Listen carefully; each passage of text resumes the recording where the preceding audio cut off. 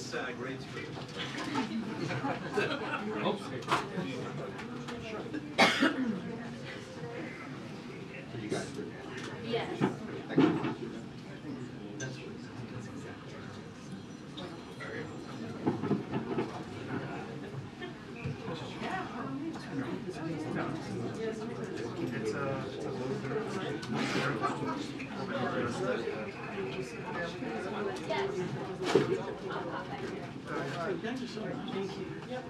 Now I got an LA. Only today. Is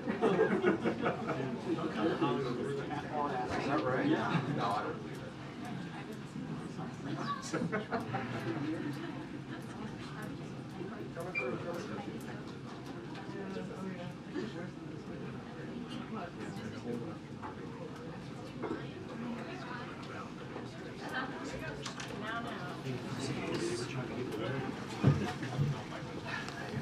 Oh my gosh. Hello.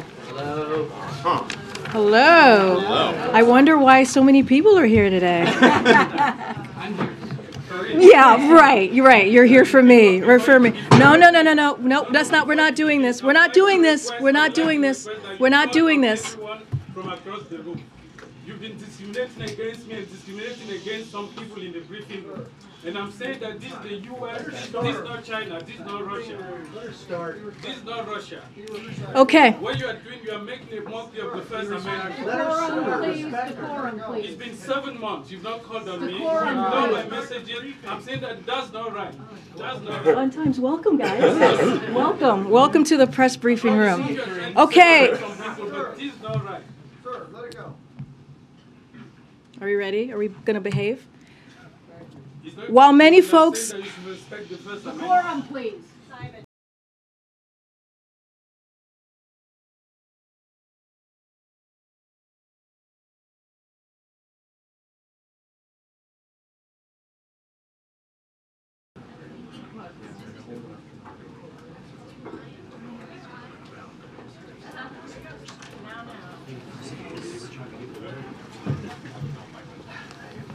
My gosh. Hello. Hello. Hello. Hello. I wonder why so many people are here today. yeah, right. You're right. You're here for me. Refer me. No, no, no, no, no. No, that's not. We're not doing this. We're not doing this. We're not doing this. We're not doing this. From across the room. You've been discriminating against me and discriminating against some people in the briefing room. And I'm saying that this is the US, this is not China, this is not Russia. This is not Russia. Okay. What you are doing, you are making a monkey of the First Amendment. Decorum, please, decorum, It's please. been seven months, you've not called on me, you've Decorum, ignored my messages. I'm saying that that's not right. That's not right. Fun times. Welcome, guys. Welcome. Welcome to the press briefing room. Okay. People, but this is not right. Sir, let it go. Are we ready? Are we going to behave? It's not- While many folks- that you should the First Amendment. Decorum.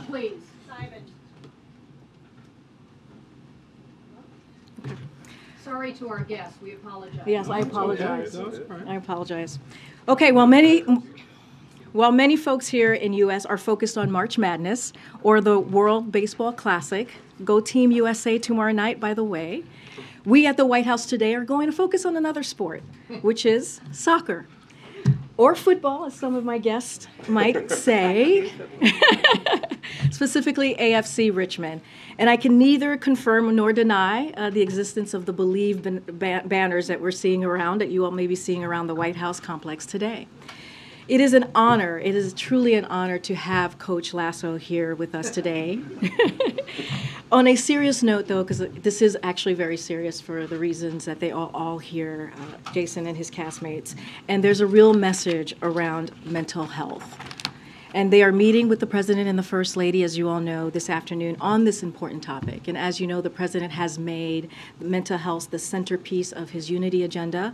And I know that uh, Jason wants to share a few words. And so, Coach Lasso, the podium is yours. I appreciate it. Here you go. Thank you. Thank you. Um, yeah, th- uh, th- I, di- I truly did not know it was going to be this one when uh, on the way here. Uh, not until we are out here. Uh, and and uh, so uh, thank you for taking an interest. Uh, and I know you're here for bigger reasons than us. But uh, I just want to say that on behalf of myself, uh, everyone here, with me today and the numerous other folks that, that uh, it takes to make our show, Ted Lasso. It, it is sincerely an honor to visit the White House and to have the opportunity to speak to the President and to the First Lady about the importance of mental health. Um, so, like, no matter who you are, no matter where you live, no matter who you voted for, we all probably, I assume, we all know someone who has, uh, or have been that someone ourselves actually, that's struggled, that's felt isolated, that's felt anxious, that has felt alone, right? And it's actually one of the many things that, uh, believe it or not, uh, that we all have in common as human beings, right? And so um, that means that we, it, it's something that we can all, you know, and should talk about with one another when we're feeling that way or when we, when we recognize that in someone feeling that way. Uh, so please, you know, we encourage everyone, and, and this is a big theme of the show, is like to check in with your, you know, your neighbor, your coworker, your friends, your family, uh, and, and ask how they're doing, and, and listen sincerely. You know, I mean, you all ask questions for a living, but you also listen for a living. So, you know, who am I preaching to? The choir, that is. Okay. Um, and look, and while look, while it's easier said than done, I, I, we also have to know that we shouldn't be afraid to ask for help ourselves, and that, that does take a lot, especially when it's something that has such a, a negative stigma to it, such as mental health, and it, d doesn't need to be that way. And if you can ask for that help from a professional, fantastic. If it needs to be a loved one, equally as good in a lot of ways, because it's sometimes you just need to let that pressure, that, that pressure valve release. Uh, the president is working on, and his, and his own team, although his team is real, our team is make believe. Uh, and don't think I don't know that, despite what the people at FIFA and EA will tell you. We are actually a make believe team. But, uh, you know, they're working very hard to make sure that, the, that you know, that option is available to as many Americans as possible. Uh, now, look, I know in this town, uh, a lot of folks don't always agree, right? Uh, and, and don't always feel heard, seen, listened to, yes? But I truly believe that it, we should all do our best to help take care of each other. That's, that's my own personal belief. I think that's something that everybody up here on stage believes in. That's, that's things we talk about in the writer's room, and we talk about in the editing room, and everything in between. Uh, and just like, you know, just want to emulate, you know, these make-believe folks that we all play at AFC Richmond and, and the way they take care of one, one another. That is the wish fulfillment of the show, aside from me playing coach and these guys being professional footballers. You know, that's like, you know, that's, that's, that's a big part of the show. Uh, now, I, the, I can't help but take this opportunity to take uh, at least one question. So please, yeah. Ah, wait, hold on here. Decorum, right? That was the word we were using. Decorum. Uh, yes, sir. Familiar face. Hi. Trent Crimm. Fake journalist. Yes, sir. yes, uh, Trent. Nice to see you. How do you feel about Kansas City being one of the named hosting cities for the uh, 2026 World Cup? Ooh, here I was hoping for a softball. Okay. Um, you know what? I'm very excited. Truth, truth be told, yeah, Kansas City's gonna be one of these teams. Uh, I mean, I love this town. Uh, What I am genuinely worried about is once we get all these folks from all over the world to come to Kansas City and see our city, eat our food, meet our people, you're gonna have you know a lot of folks that won't want to move away. That's what I'm worried about. Uh, that's it for us. All right. Thank you very much. All right. See you guys. Thank you sincerely so much for having us and, and putting up with us. Now on to uh, greener pastures. Thank you so much. Thank you. All right, Thank see you you guys. guys, thank you so much. Thank you, thank you guys, thank you, thank you. Excuse me. You don't have a little Joe Biden impression? Nah, I, I, I, they got the real one here now. You know? yeah. No, I, I need I need fake teeth and you know and injected with a lot more chutzpah to pull Oh that off. So, oh boy, yeah. okay. Oh, I know. Uh, Thank you so yeah. much, guys. Thank you so much. Thank you. Thank you. Okay. I just got to say something before we start. I know some folks are probably going to leave the room. Um,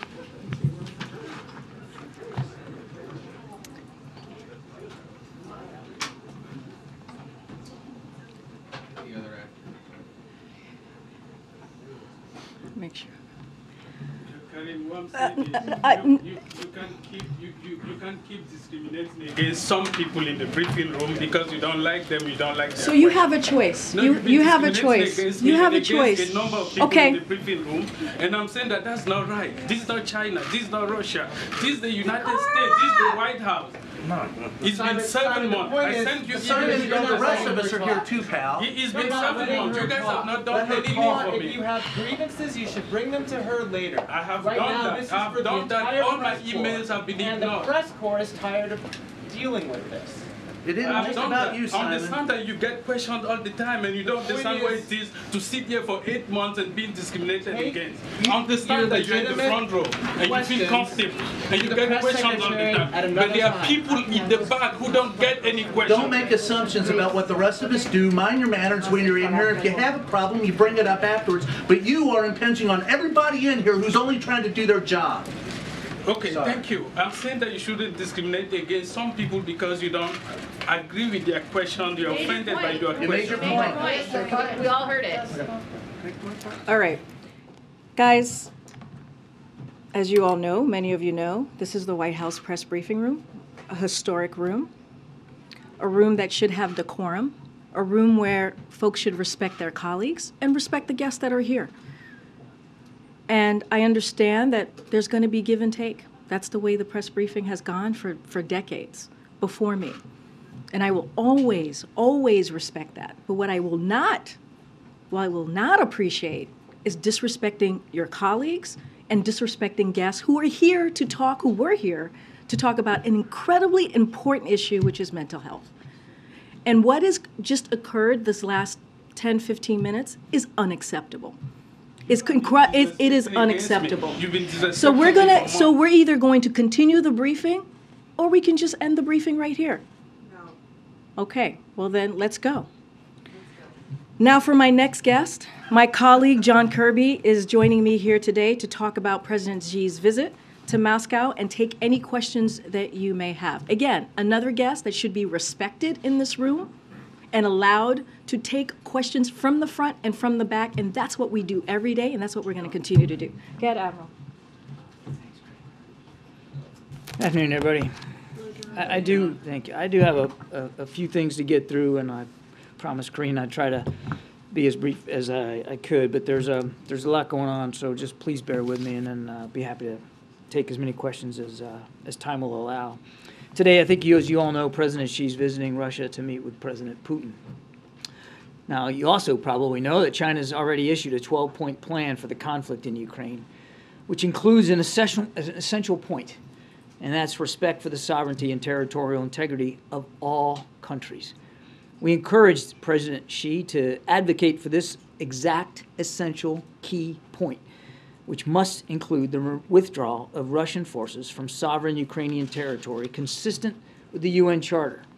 The entire world would like to see this war end, especially the Ukrainians themselves, who have put forward their own plan for a just peace, which draws again on these same UN principles. And let's remember, this war could actually end right now if Russia would, would withdraw its troops from the country. We hope the President Xi will press President Putin to cease bombing Ukrainian cities, hospitals, and schools, to halt the uh, war crimes and atrocities, uh, and to withdraw all his troops.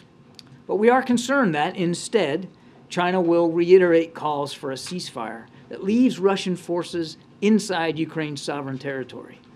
Any ceasefire that does not address the removal of Russian forces from Ukraine would effectively ratify Russia's illegal conquests, enabling Russia to entrench its positions and then to restart the war at a more ad- advantageous time for them. This would, uh, the, the world should not be fooled by any tactical move by Russia, aided by China or any other country, to freeze the war on its terms without any viable pathway to restore Ukraine's sovereignty and territorial integrity. Any such attempt, any such attempt would violate the UN Charter and defy the will of the 141 countries that demanded just weeks ago at the UN General Assembly that Russia immediately, completely, and unconditionally withdraw from Ukraine. Efforts to end this conflict must take Ukraine's position into account. And so we encourage President Xi to play a constructive role by speaking with President Zelensky, which he has not done since Russia launched this invasion. Because China, quite frankly, we believe, should hear directly from the Ukrainians and not just from the Russians. And we encourage President Xi to press President Putin directly on the need to respect Ukraine's sovereignty and territorial integrity. The world and China's neighbors will certainly be watching closely.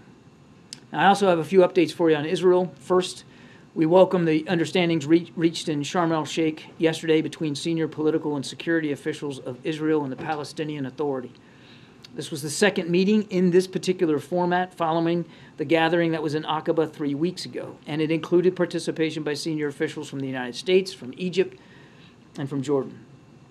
The parties held candid and constructive conversations on steps to improve security and stability for Palestinians and Israelis, and on efforts to strengthen the economic stability of the Palestinian people.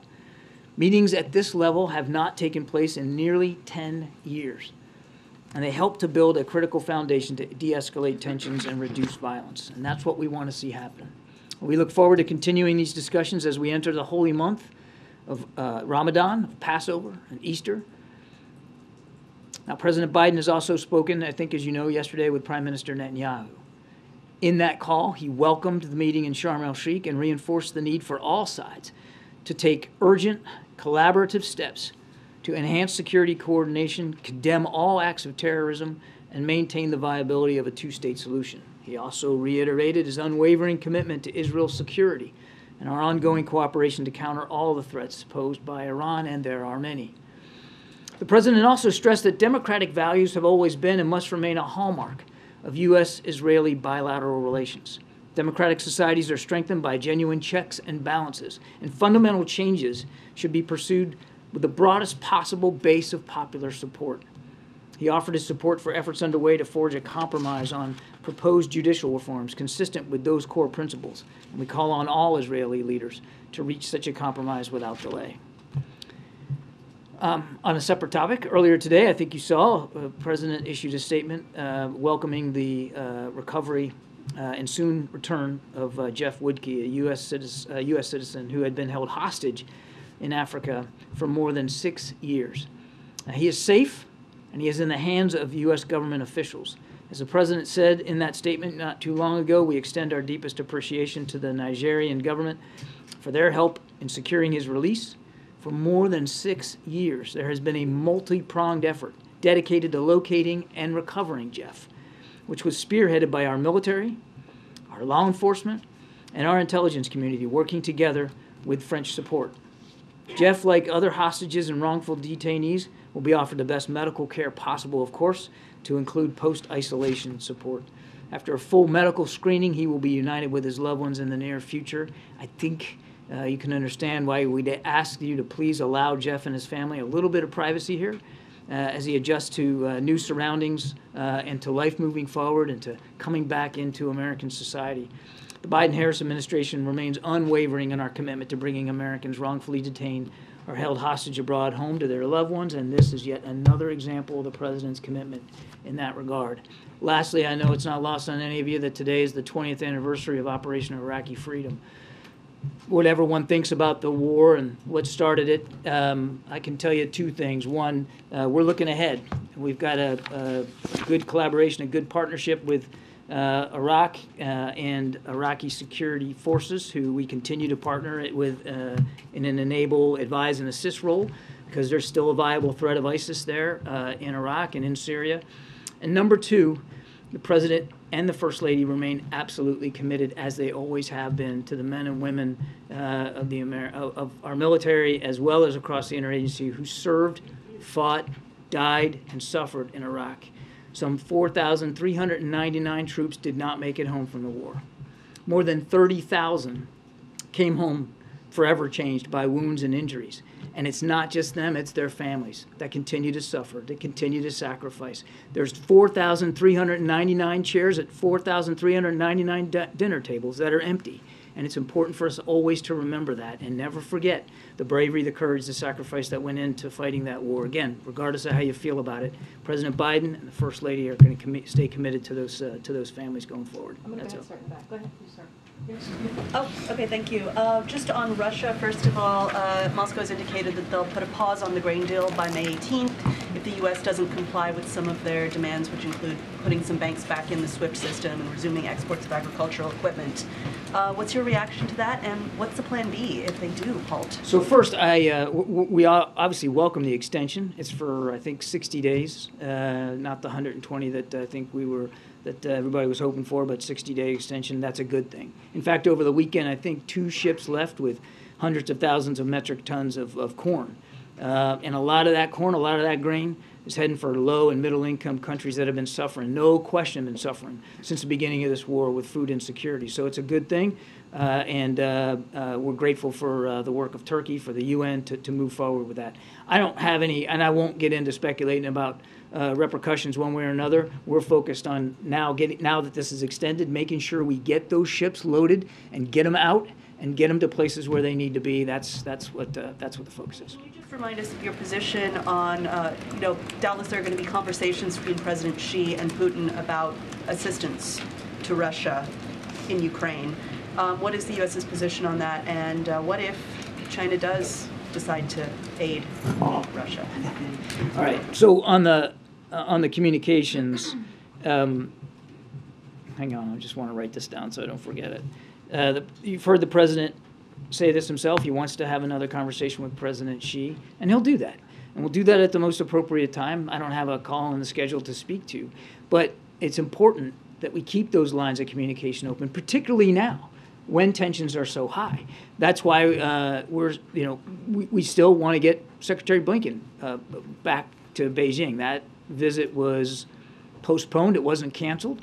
Uh, and we're still hopeful that we can get that back on the cal- calendar. As a matter of fact, we're having discussions with the PRC right now about potential visit by uh, uh, Secretary Yellen and, and Secretary Raimondo to go over there and talk about economic issues. So there's that that, that, that we're still working. So all, all of that, keeping those lines of communication open, uh, are still valuable. Now you asked about uh, lethal weapons and uh, a pr- provision of, of lethal weapons by, by China. We'll see what they come out of this meeting talking about. I mean, uh, we don't know if, uh, if there's going to be some sort of arrangement. I would just tell you that we still don't believe that China's taken it off the table.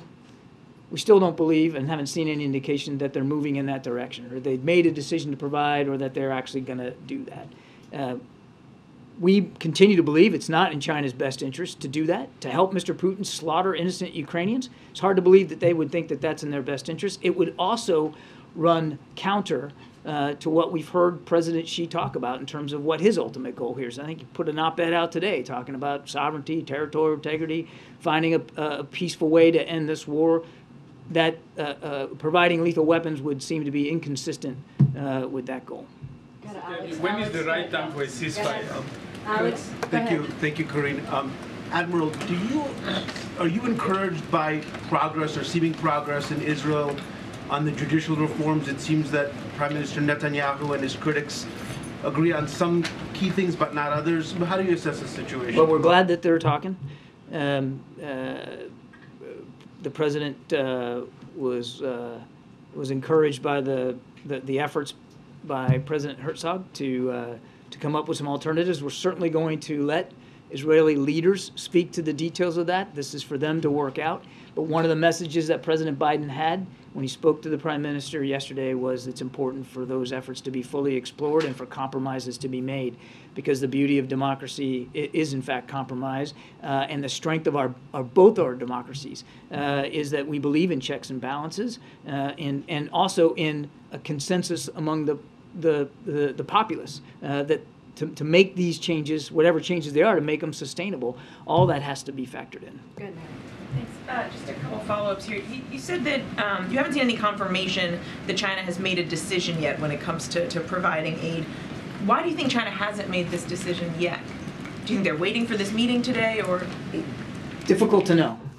Um, it, it's hard, you know, we, I couldn't possibly get inside President Xi's decision making to see, you know, what what he's thinking. Um, uh, China has, as you know, not condemned the war, but they haven't provided lethal weapons. Um, they haven't participated in in sanctions the way we obviously would have uh, preferred them to do. Um, they have they have made their own sovereign decisions, and largely, at least tacitly, many of those decisions have come down on the side uh, of Russia here, including buying into the Russian propaganda that this war is some sort of existential threat to Russia, and it's the West or the U.S. and NATO pushing uh, Russia, which, of course, is nonsense.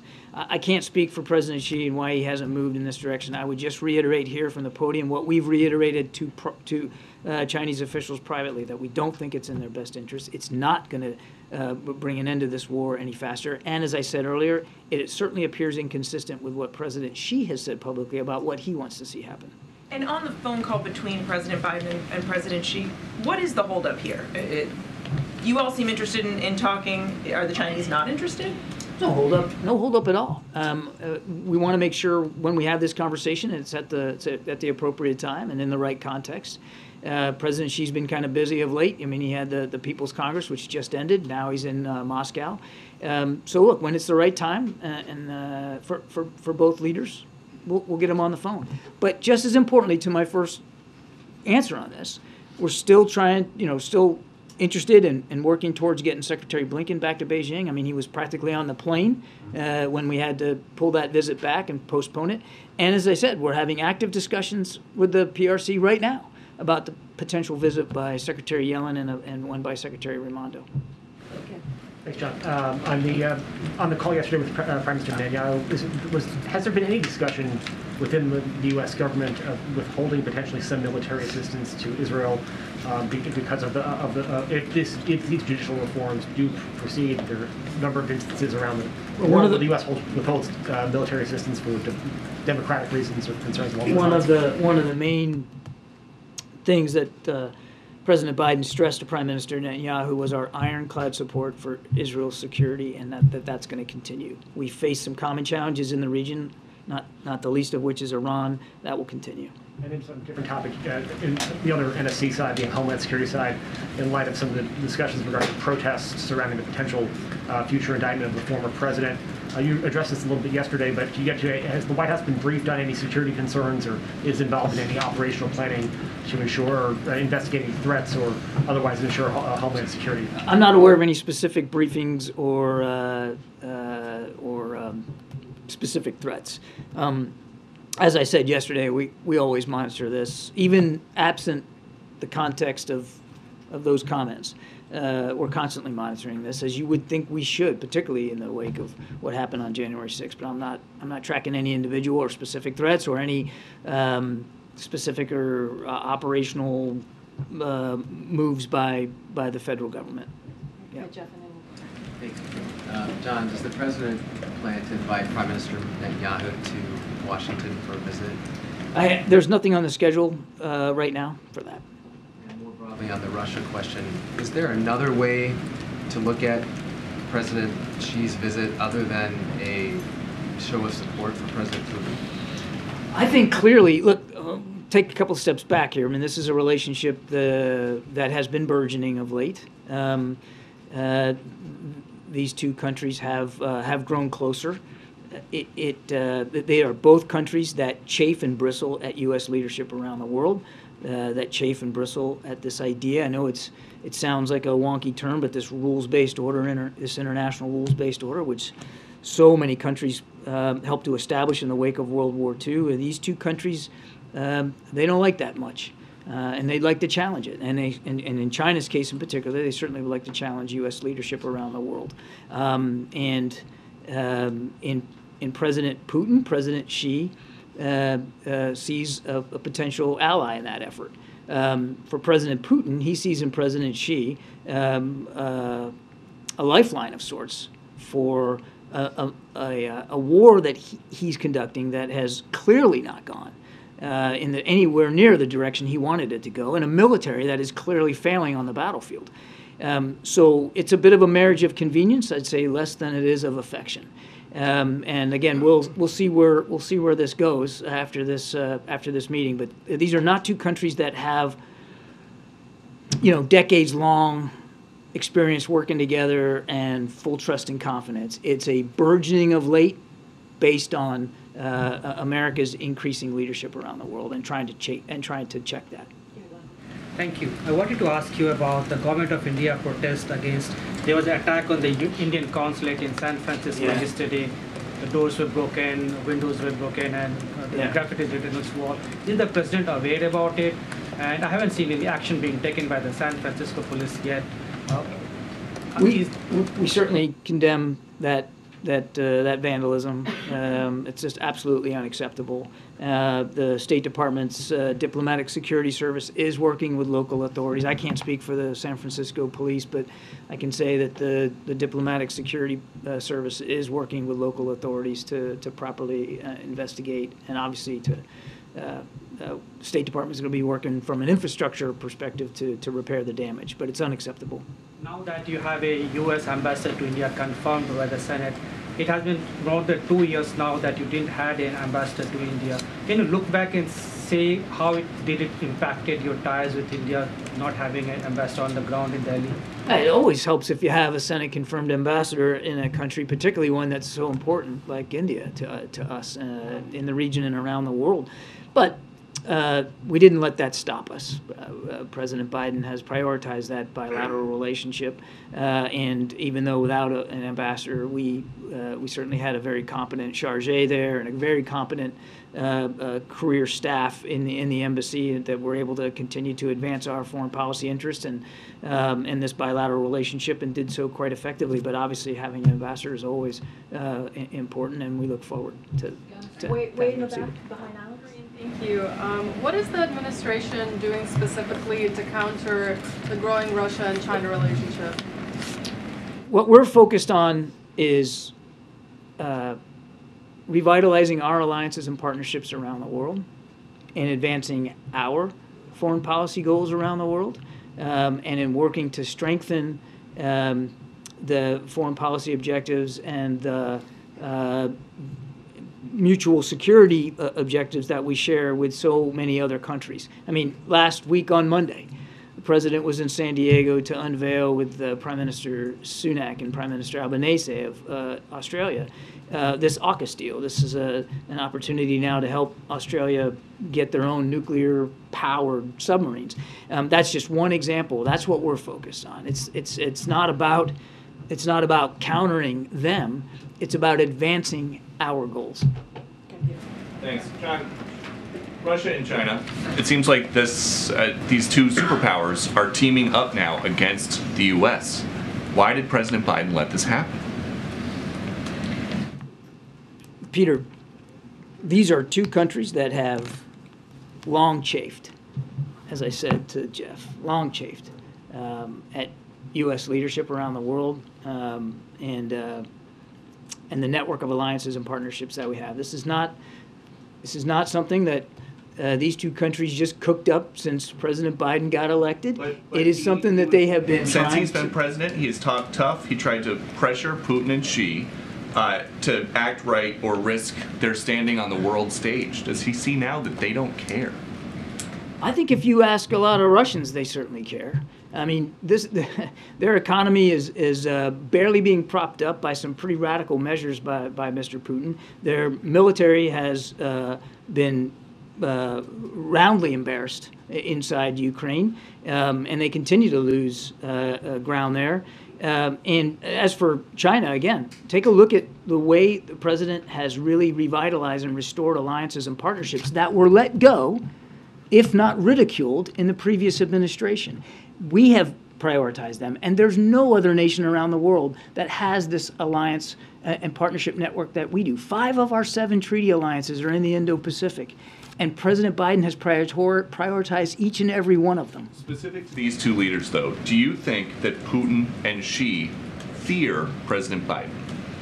You'd have to ask them whether, whether they fear or, or, they Should not. they? It is not about fear. It's about President Biden advancing our foreign policy goals around the world. It's about President Biden revitalizing these alliances and partnerships. It's about President Biden and what he's doing to preserve our national security interests around the world. That's what we're focused on. Welcome back. Thank you. It's been a minute. um, has the president spoken to Jeff Woodke or his family yet today? I don't think there's been any direct communication uh, by the president with respect to the family yet. I mean, we're just delighted. This, this news just broke, as you know. We're just delighted to be able to get him back in our hands. We're going to make sure he gets the care he needs, and I'm sure there'll be appropriate communications at the right time. But as I said in my opening statement, we also this is I mean six years, and they just got word today. We need to give the family a little breathing space. And sir, really quick, um, your reaction to uh, President Putin visiting Mariupol over the weekend? So, look, a couple things there. Um, uh, I mean, I, I certainly won't speak to his travel habits, uh, but Mariupol's far from the fighting. It's far from the front lines. Um, uh, I hope he did get to see. I hope he did get to see the damage and the destruction that his troops did to that city. And I heard in the press release that he was going to look at all the ways they rebuilding, they're rebuilding Mariupol. How about the fact that they shouldn't have to rebuild it, because he shouldn't have bombed. Sorry, he shouldn't have. I, yeah, I was going to use a word I shouldn't use here. Um, uh, so I hope he got to see what his troops, his military, and his war did to that city. Um, uh, but we'll but but uh, we'll let him speak to uh, to to to his uh, to, to what he came away from.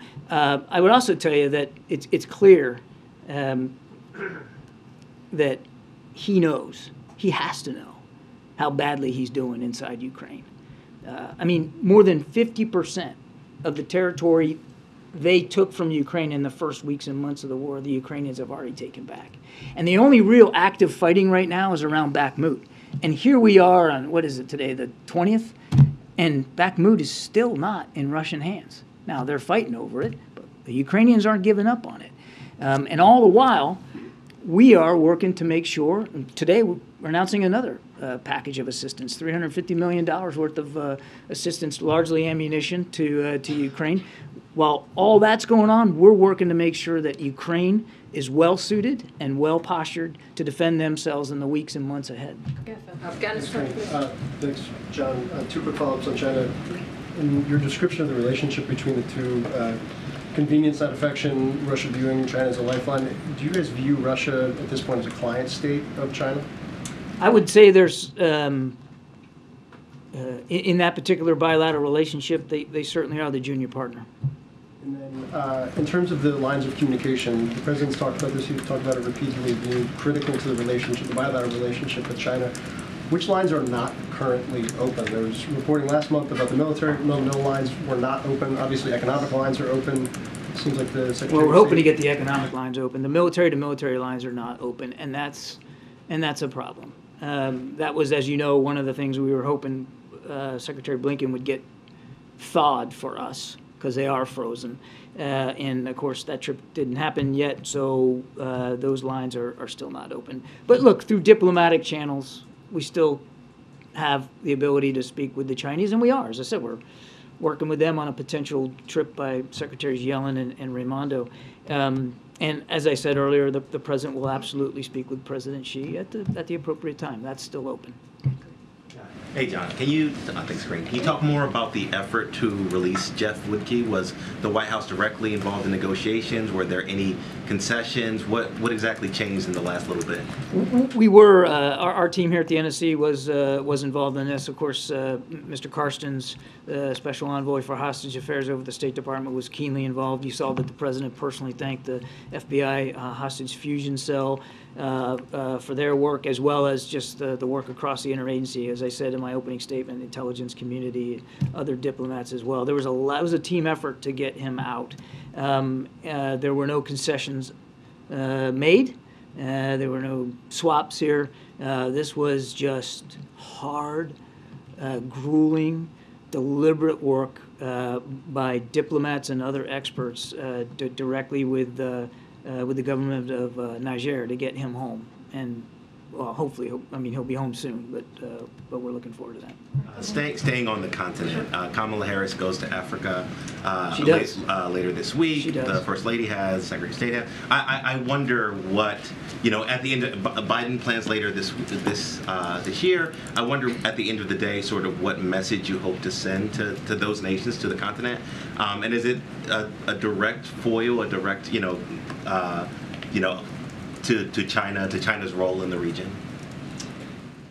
So the, uh, the the the message is the same. I, uh, that that the president delivered when we had the African Leaders Summit here uh, in December, and that's that Africa matters, the continent matters, and our relationships across the continent all matter, and um, and we work on those relationships one at a time, because every country on the continent is different, has different needs. um, and uh, and different expectations of American leadership. And that's why the president, at the end of that summit, uh, uh, assigned Mr. Carson to be the special envoy for implementation. And uh, you're seeing us now move out on that. You mentioned the vice president's trip. First lady was just there.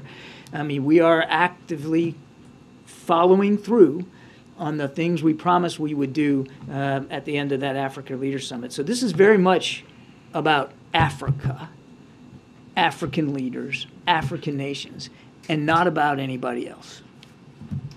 Thank you so Can I ask you a follow-up question No, uh. I have a question on uh, India and China. There is a report from U.S. News saying that the U.S. provided uh, intelligence to Indian military and that helped them repel a Chinese incursion that happened last year. Uh, can you confirm that? And does it mean that, you know, uh, generally speaking, there is more intelligence sharing with India? No, I can't confirm that. James. Karine, thank you. Admiral, thank you. Uh, two questions focused on China. First, on the Xi-Putin visit. Uh, you and uh, other senior officials have been vocal in recent weeks about your insights into uh, consideration by the Chinese of providing some kind of direct or lethal assistance to the Russians, and that's why you've issued your public warnings against them doing that. One of the little noted aspects of this relationship that I think is important came back in September when uh, Putin and Xi last met in Uzbekistan. And in his public comments, President Putin uh, stated that uh, they were uh, eager to address the concerns about the Ukraine war uh, that the Chinese had raised. So I wonder if you have um, any insights into the nature of those Chinese concerns and what they may have communicated to the Russians about that. I don't. I don't. Question is on the Chinese brokered rapprochement between Saudi Arabia and Iran. Uh, since that uh, deal was announced, has the United States been able to observe any changes uh, in that relationship, in its security implications for the region, et cetera? I think it's too soon right now, James. Yeah, thank you. Uh, you said there were no concessions made for the release of Mr. Woodke. Does that mean there was no ransom payment at all? That's right. That's what that means. And uh, Secretary of State Blinken w- was in Niger last week. Uh, did he uh, negotiate at all for uh, his release during that He trip? certainly had discussions with uh, leaders that he met there about Mr. Woodke, as you would expect him to. And where is Mr. Woodke right now?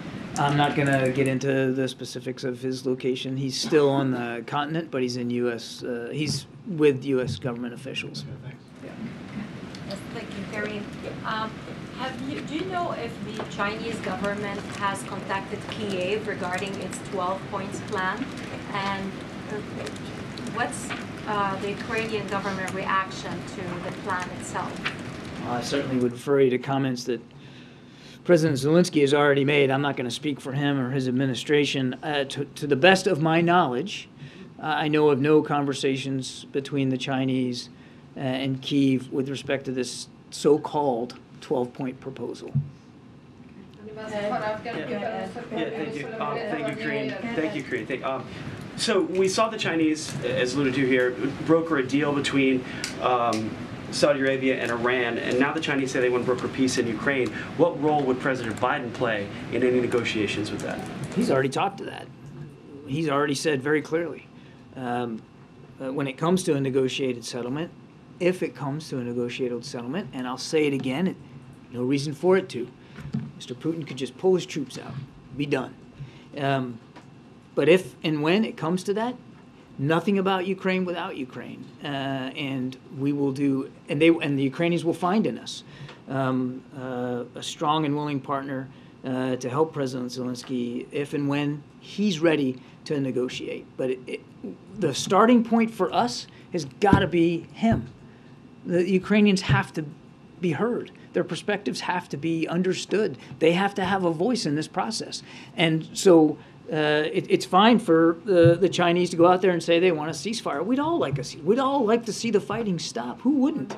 But if it stops now, without any consideration of the Ukrainian side, without any discussion between the Chinese and the Ukrainians, without any uh, accession by them to an idea of a ceasefire, it basically freezes in place what Mr. Putin has been able to achieve on the ground inside Ukraine. It's dwindling, but he still has occupied territory in Ukraine, and that's just unacceptable. What's the level of concern, Thank you. real quick, Thank what's the you. level, Um, just real quick, what's the level of concern uh, about the growing influence of China around the world then? Well, we've uh, certainly mindful that China has tried to expand their influence uh, um, uh, all around the world, Middle East, uh, in Africa, in Latin America. Uh, they can speak to their foreign policy goals uh, should they wish to. Um, I can only speak to ours. Um, and our goals are not about countering or or, or being a block or an obstacle. There's no effort to contain here. It's about advancing what President Biden believes are the appropriate foreign policy goals for this country, for the American people, and for the best interests of our allies and partners. And again, I'll go back to what I said before. Uh, no other nation in the world, none, has the a network of alliances and partnerships that the United States does, has, has as many friends around the world as the United States does, who are interested in pursuing the same goals. Secretary Austin just a week or so ago held the 10th Ukraine Defense Contact Group, more than 50 nations, again, more than 50 nations at each and every one. And those are voluntary participation uh, events. It's not like we're browbeating people to show up to uh, agree to contribute to Ukraine. That's that's the power of American convening leadership, and you don't see that power out of either Russia or China. These are two countries who do not have that same network of friends and partners, and one of the reasons why that relation sorry rela- he got me all he got he got me He's in the zone. no no he, he got me all lathered up He's in the zone. What- He's in the zone. you got me all lathered up now. But one of the reasons why you're seeing that, that tightening relationship is because they recognize uh, that they don't have uh, that strong foundation of international support for what they're trying to do, which is basically challenge American leadership around the world. All right, last, last question. You got this question. Thank you very much. Um, President travels, President travels to Ottawa this week, um, and the past president had a difficult relationship with Prime Minister Trudeau.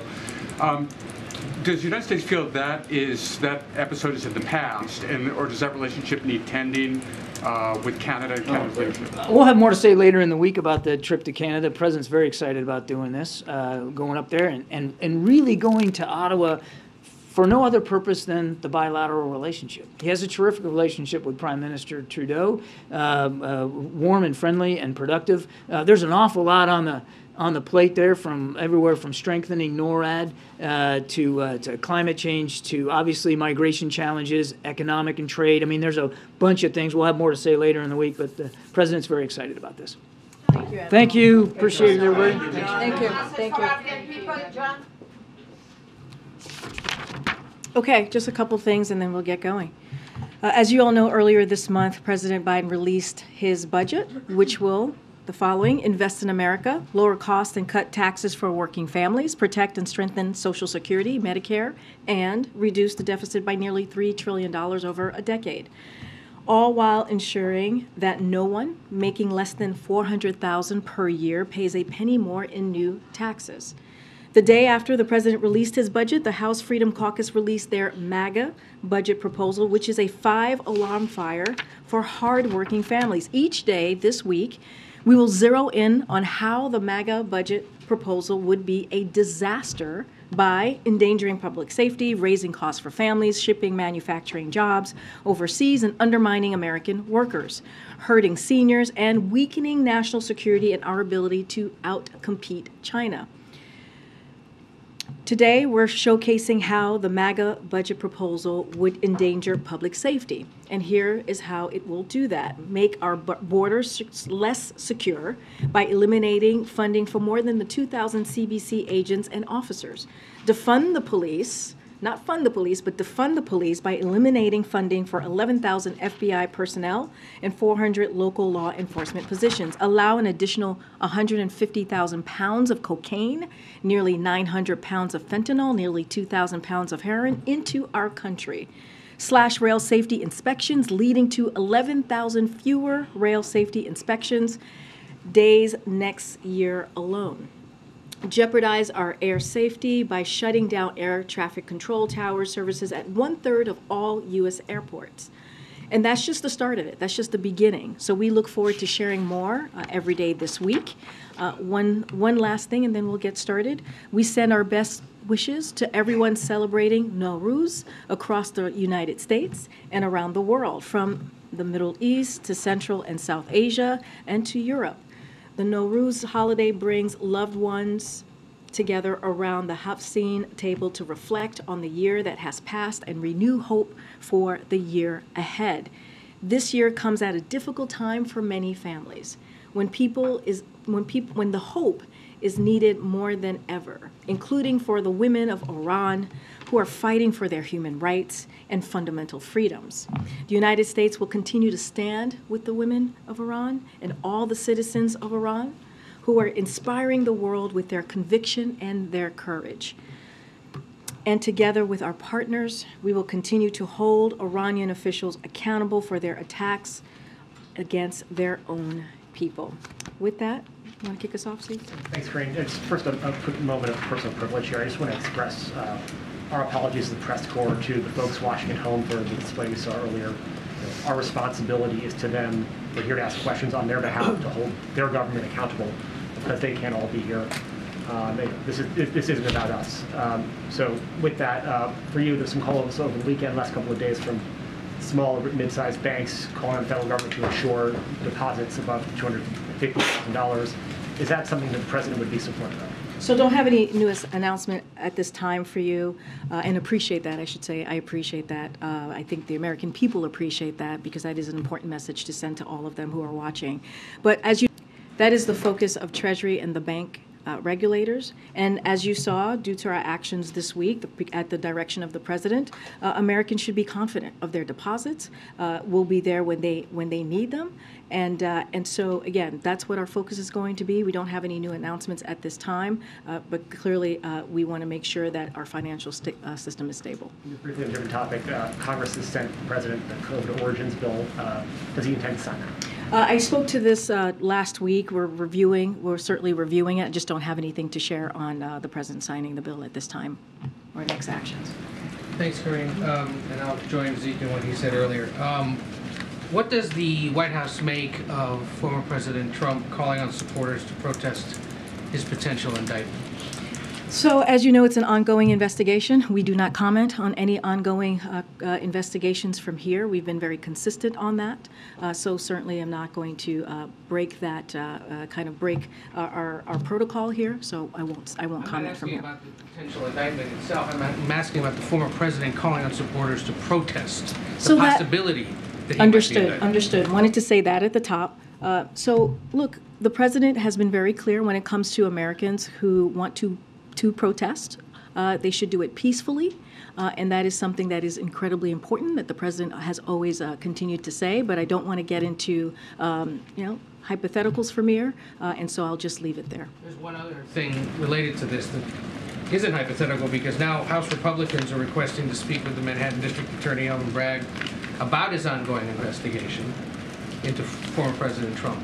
Is that the view of the White House, a proper use of federal taxpayer dollars to investigate or try to find out what a local prosecutor is Again, I'm, I'm just not going to, to speak because that there un, that is an underlying connection uh, to to the uh, to the investigation. Just not going to comment from here. Uh, look, our the president is going to continue to focus on what the American people need, their priorities. Uh, we're going to continue to focusing on, to focus on lowering costs. We're going to continue to focus on the president fighting for Medicare, uh, Social Security, uh, ACA. That is what the president's going to do. Look, if Republicans and the president has said this over and over again, uh, if they Republicans want to work with us in a bipartisan way to deliver for the American people, to continue to build on the successes that we have seen in the last two years when it comes to the economic policy, building an economy from the bottom up, middle out, uh, he's willing to have that conversation. We saw what the president proposed on Friday regarding changes to how the FDIC oversees banks and executives at banks specifically. Has he been in touch directly with any business leaders or who was it here at the White House that may have had conversations with Warren Buffett, for example? So, so I've seen the reports of, on Warren Buffett uh, um, uh, that you all have been reporting on. Don't, don't have anything to read out or to, to lay out on any conversation, uh, and so I'll just leave it there. And the president himself otherwise? Just, just don't have anything to, to read out on conversations that the president may have had with anybody from the business sector or outside of, outside of the, of the White House. What I can say is, and we've said this many times before, he has been kept regularly updated uh, by his economic team, by the chief of staff, uh, and that continues. Thank you. To, to put a follow up on Ed's question about the former president's uh, message to his supporters, you know, given what we've seen in the past when the former president has urged his supporters to, to take our nation back, um, are you concerned and worried as an administration about the threat of violence? So look, we, we are always prepared. I can say that from here. Uh, I'm just not going to get into hypotheticals uh, or uh, any potential scenarios, but we are always prepared. And uh, on the issue of banking, um, there's some reporting that Warren Buffett has been in touch with the administration, you know, playing a role in, in, in sort of helping to advise as you address the banking crisis. Can you confirm that? Can you comment on, on any conversations with Warren Buffett? Yeah, I, I think um, I think Ed just asked that question. Mary. Uh, no, I just don't have uh, anything for you at this time. I can confirm that, that I have not had a conversation with Warren Buffett, but no, I just don't have anything to, to read to, to read out at this time. No problem. Uh, just following up on the on the broad question about banking, can you give us a sense of next steps in this? You've expressed confidence that the banking system is strong, but there's still some jitters out there. Understood. Uh, look, the president has already called for Congress uh, to make it easier for regulators to do the following: claw back compensation, uh, impose civil civil penalties, and ban executives uh, from working in the banking industry. He will also uh, going to call on Congress and bank re- regulators to strengthen the rules uh, for larger banks, so this doesn't happen again. As you know, and I've said this many times before, in 2018, we saw that the previous administration rolled back some of the tough requirements put put under, put in place under the uh, Obama Biden administration, and so which was which was put in place to strengthen uh, the financial system. So, uh, so the administration is, again is going to actively look into what regulations or laws uh, should be strengthened to prevent this from happening again. But look, the actions that we saw this weekend, the actions that we have seen over the past 10 days or so, uh, should give uh, the American people confidence uh, that the, that you know depositors will have their money will be there when they need it. And so, again, we have done everything that we can to make sure that uh, we hold the we hold um, the managers of these of these banks accountable, uh, and uh, and that this does not affect and we don't put on the hook the taxpayers or the American people. Is the president worried, or is the White House worried about the politics of this in terms of banks getting bailouts and average Americans, so to say, not?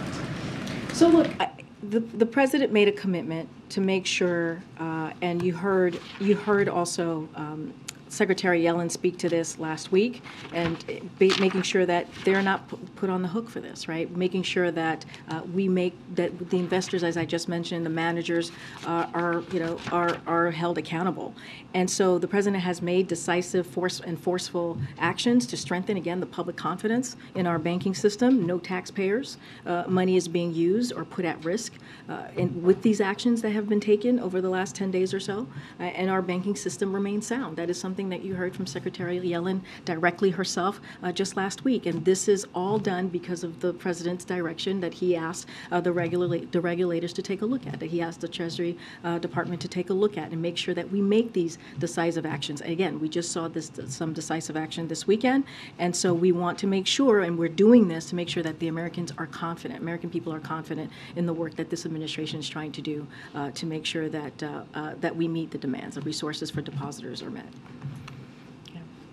Um, does the president believe that the actions of the last 10 days, which have been very extraordinarily extraordinary in scale and scope, are enough? That we're past this, we're through this, um, the system is going to be good to go from now on? So, look, um, when you think about the accountability that the president put forth just on Friday, uh, which focused on ensuring that senior bank executives are held fully accountable, uh, it builds on our work to ensure key executives that, that ran Silicon Valley, for example, Silicon Valley Bank and Signature Bank are removed, and investors in these uh, two banks are take their losses. But again, Congress should act, should make it easier for regulators to claw back those compensations that I mentioned, impose civil uh, penalties, and ban executives uh, from working in the banking industry again. So, look, we, the president took the necessary actions uh, to meet the moment that we're in now. He believes that Congress can, needs to continue to act. We're going to continue to have those conversations. Of course, there are things that we can do without Congress, which is what we're seeing the regulators do.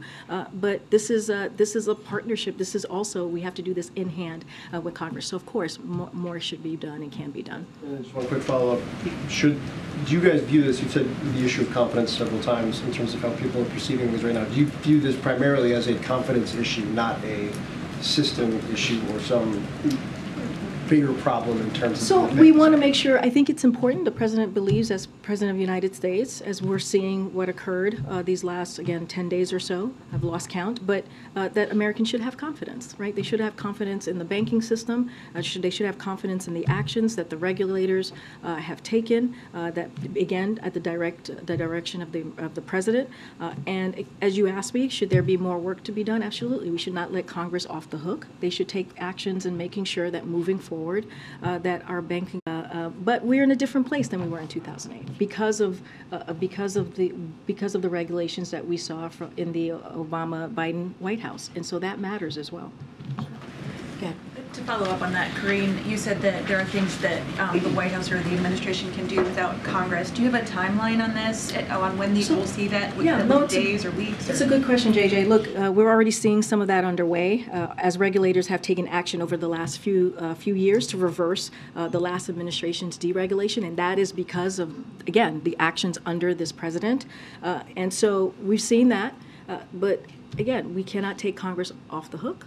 Uh, and uh, the regulators are going to take continue to, to do what the president asked of them. The, it, again, these past two years, uh, again, Congress has to act. We need to make sure that they do their part in this, as as the president is uh, make, taking actions uh, to give the American people confidence. Go ahead. Does the president view Jerome Powell's stewardship of these events as um, at all a risk to his position as chairman of the Federal Reserve? No, not at all. The president has confidence in Jerome Powell. The shares of First Republic Bank have declined in recent days. Is the administration considering any further steps to support that bank, and do those options include uh, potentially the FDIC taking over the bank? So look, that's something for the FDIC to, to speak to. Uh, I'm not just I'm not going to comment on any hypotheticals from here. Senator Warren um, was on a number of Sunday shows yesterday. She has said the Federal Reserve should stop hiking interest rates uh, in an effort to control the high inflation given the circumstances that we're in. What's the president's level of concern that another rate increase this week could further weaken the banking industry and potentially threaten some of these smaller and mid-sized banks? So look, I understand the question as it relates to the Federal Reserve. We've been very clear. They are independent. Uh, they will make, uh, the president believes that. The president has been very clear uh, on that. Uh, and they are going to make their decision, their monetary policy decision as it relates to interest rate, as it relates to uh, dealing with inflation, uh, which are clearly both connected. But I'm just not going to, we're not going to comment on that from here. Um, how's the switching gears to climate a little bit? How is the White House dealing with the new intergovernmental panel on climate change report that came out today? Are there plans to change anything that the administration's doing, or just carry on the programs and plans you have right now? So they have not spoken to our team about the report, so we need to, to go back and, um, and, and get their assessment on, on the report that you just mentioned that came out. So just don't have anything to share at this time, but happy, happy to come back to you on that. And in terms of preparations for any protests or rallies, what do those preparations look like? Uh, I'm just not going to get into uh, any, any details from here. I think I answered this question uh, just a little bit uh, to your colleague, and I I just said we're, all, we're always prepared, uh, but certainly not going to get into hypotheticals. Um, what's happening with the Cuban baseball defector, and are there any concerns about how that might impact any relations with Cuba? I don't have anything to share at this time uh, on that question. Uh, Go ahead. Uh, Thank you. Uh, Karine, while, while we've been in here, uh, there's been a couple of stories that have started to come out about the economic report of the president. Uh, I think there's an AP story and a New York Times story. Uh, do you have anything more to share on when that report's coming out and any of the, the top lines from it? I don't have anything to share at this time. When we're ready, we certainly will share that with all of you. Okay. Go ahead, Courtney. Go ahead, Courtney. Thanks, Karine. I wanted to ask you, um, state leaders are campaigning for abortion access amendments to be put on the ballot in 2023 and 2024. One example um, that's gaining some steam is in Ohio. Is the administration doing anything to support this effort um, or tracking those ballot initiatives, given that you Can you go back to what you said before you said Ohio? What What is? ballot initiatives, there's leaders that are trying to put ballot initiatives for 2023 and 24 for abortion access. Abortion access. to abortion It's kind of like what we saw in Kansas, um, gaining traction to do that in other states. Well, look, we, the president has been very clear about um, uh, what, especially the day that Roe uh, was no longer the, the uh, law of the land, that we needed to do everything that was possible uh, to make sure that we protect women's rights, uh, women's rights to health care, and he's been very clear about that. Uh, I don't have any specifics to say uh, on those particular potential pieces of legislation, but clearly we welcome legislation that's going to support that, that's going to support women having, being able to make their own decisions on their health care. Uh, and it is shameful. It is shameful that we're seeing extreme uh, elected officials out there uh, talking uh, talking about national ban uh, on abortion, and uh, we're going to continue to call that out. Uh, we should not be uh, talking about taking away the freedoms of Americans uh, across the countries, of, of women across the country. Uh, and so we're going to continue to, be very clear about that. Uh, but certainly we would support legislation that helps expand the access for women. If you could provide an update of the case in Texas on mifepristone. Um, I know that you've gotten that question a couple times about how you're preparing.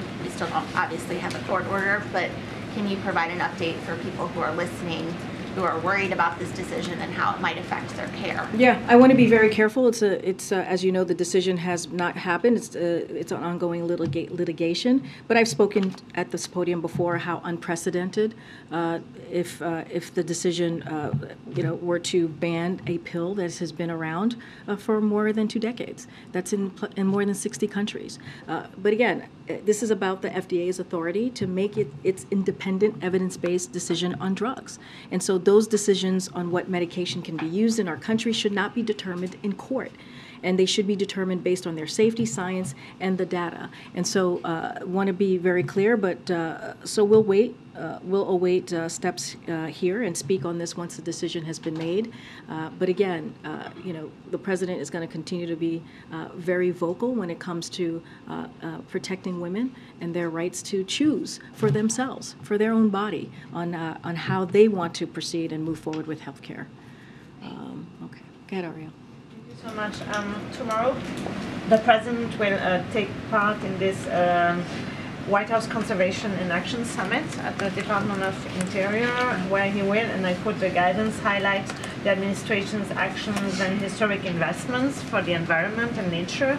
Uh, but just a few days ago, he greenlighted uh, the Willow Project in Alaska. So this it looks like he's sending conflicting signals here. So can you maybe elaborate on, what his approach is uh, on the environment and what he's telling, especially young activists who protested the Willow Project? Yeah, I, I, you know, I would disagree with that. As, as we have said before, uh, the step that the Department of Interior had, ta- had taken uh, was because of certain legal constraints. So we have to remember that these, these were legal. This was part of a legal uh, kind of decision, as I explained last week. And uh, tomorrow's event is about building on the president's historic climate and conservation record, which the president is very proud of. If you think about uh, what the president has done, uh, protected more lands and waters in his first year than any president since JFK. Uh, he just last week he declared the the entire U.S. Arctic Ocean off limits to new oil and gas leasing. Uh, And so, and the Interior uh, Department also announced it's preparing new regulations to protect 13 million acres in Alaska. And so, you know, the president is going to continue to fight uh, for our climate, to protect our, our climate and take those actions. Uh, He's made the largest ever uh, in- investments in conservation and restoration of our lands and waters. And so the president is very proud of his record, uh, and he certainly will never back down from it. Ahead, Karen. Do you have any details of the Arts and Humanities- Humanities Award ceremony tomorrow? I do. I do have some information to share with all of you. That's uh, the awards that are happening tomorrow. Um, So, um, oh, give me one second here. So he's gonna, the president's gonna host uh, in the East Room ceremony at the White House to present the 2021 National Humanit- Humanities Medals and the 2021 National Medals of Arts. Uh, First Lady uh, Jill Biden will attend the ceremony as well. We will have uh, more on the recipients of the awards later today, but don't have anything to preview, but certainly we'll have more to share. And this will be, I believe, the first one uh, in this administration in the past two years. Okay, uh, I'm trying, who have, I've not called, one more? Go ahead, uh, Brian. Karine. I wanted to ask into the FBI and the ATF in Waco. Does, is the Biden administration concerned about anti-government activity in Waco around the rally? Are there security concerns that President Trump may use this anniversary to foment um, anti-government sentiment at that? At that So, I- you know, I can't speak to what uh, the former president's going to do or say. Uh, What I, I'm not tracking uh, any, uh, any security concerns, uh, so don't have anything more to share beyond that. All right, everybody, I'll see you tomorrow. Thank you. Thank you, Karine. Thank you.